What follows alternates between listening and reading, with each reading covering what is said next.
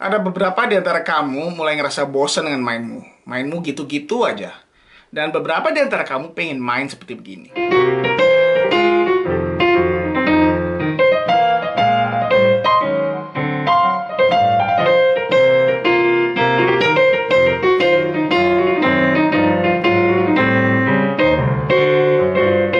Dan dalam waktu 5 menit setelah kamu nonton video ini, saya jamin kamu pasti bisa main kayak gini.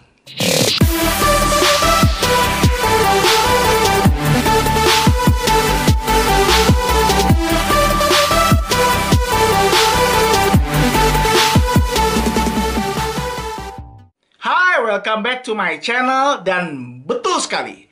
Kali ini kita akan belajar gimana caranya mainin piano keyboard gaya blues. Saya tahu, saya pernah ngalamin hal serupa. Saya penasaran banget dari dulu gimana sih orang bisa main keren banget tangannya keriting-keriting, ah, nadanya kayak miring-miring kayak uh, soulful banget begitu gimana caranya.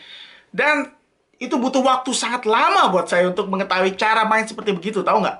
Kira-kira ada 1 sampai 2 tahun dari pertama kali saya belajar main piano hingga saya pertama kali ngerti, oh ini style music blues. Dan kamu beruntung, karena saya share dalam waktu 5 menit, kamu bisa. Nggak butuh waktu 2 tahun.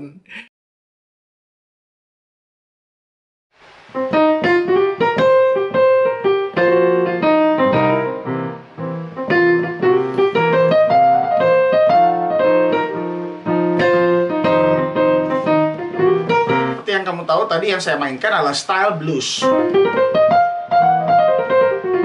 Ya, dan blues ini, eh, ini agak spesial ya. Jadi scalingnya, kalau ini saya memainkan di tangan nada C.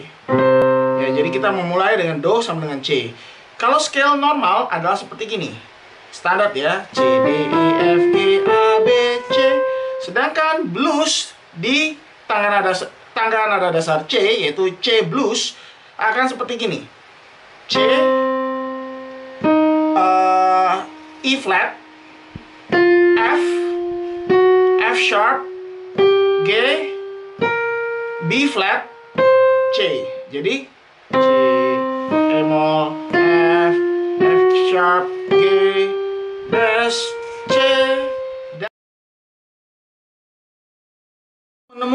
tangga nada dasar blues itu simple aja. Jaraknya antara dari not pertama do C jaraknya satu setengah ya satu lalu jaraknya uh, satu nada. Setengah nada setengah nada lagi. Lalu uh, satu setengah nada lagi lalu satu nada full. Jadi saya bisa menggunakan formula yang sama ini di tangga nada dasar bukan C lagi di D. Misalnya di D. Jadi seperti gini punya. Improvisasinya gimana? Gampang, tinggal kamu puter-puter aja, tekan aja salah satu note dari uh, C blues ini. Jadi misalnya kamu mau langsung tekan sini, kedengeran enak aja, enak aja bunyinya. Saya mau tekan E flat, saya mau tekan bass, tekan F, G,